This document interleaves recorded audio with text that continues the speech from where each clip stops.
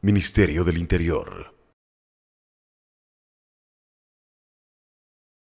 Que el día de ayer, como ya se difundió previamente, pues se ha logrado la aprehensión de el último de los fugados de lo que se conoce como el Centro de Rehabilitación La Roca en la ciudad de Guayaquil.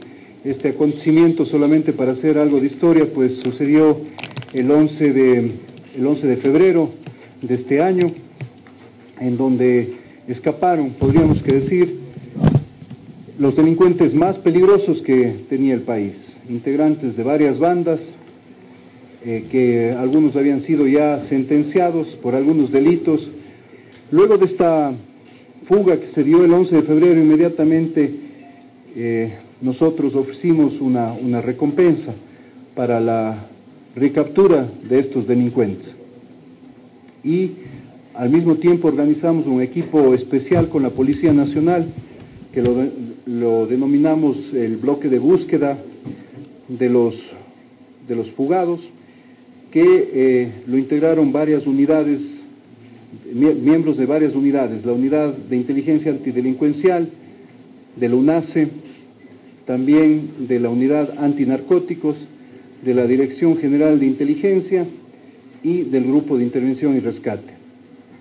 Las, recapturas comenzaron el 23 de febrero, el 23 de febrero de este año también.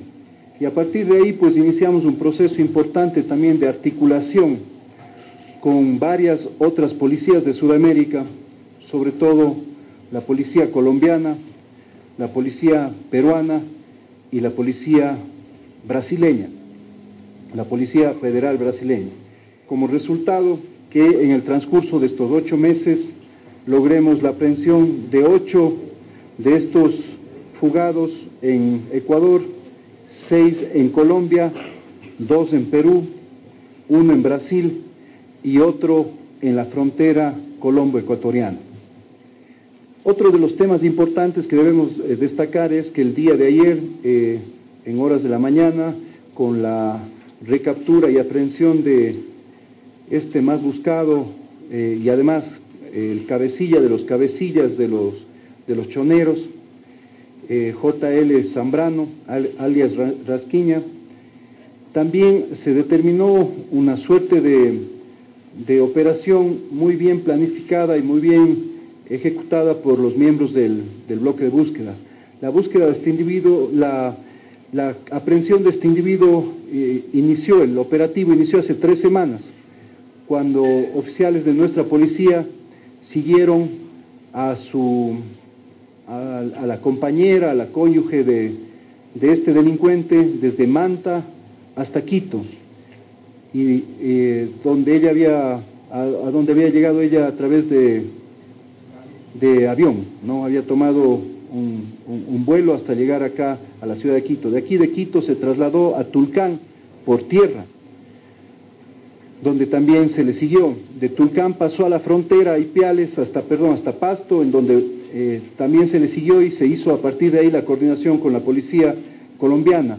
En, en Pasto tomó un vuelo a Cali y en Cali obviamente tomó un vuelo a Bogotá.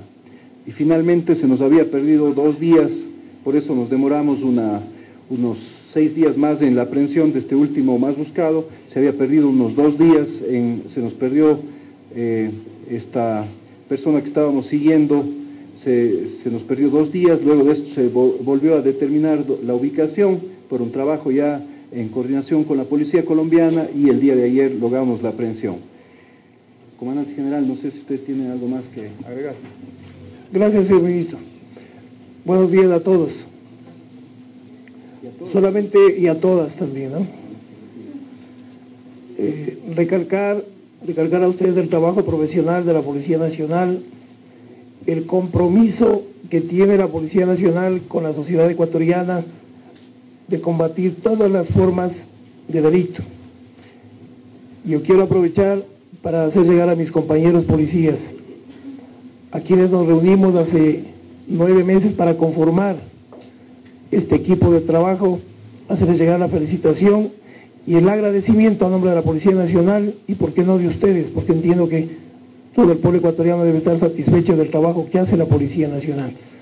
Pero también quiero agradecerle, señor ministro, al Gobierno Nacional, a usted, en razón del apoyo importante que la Policía Nacional requiere para poder dar estos resultados. Es fundamental que ustedes conozcan el apoyo que requiere la Policía Nacional para dar respuestas de esta naturaleza. Ministerio del Interior. Avanzamos, patria.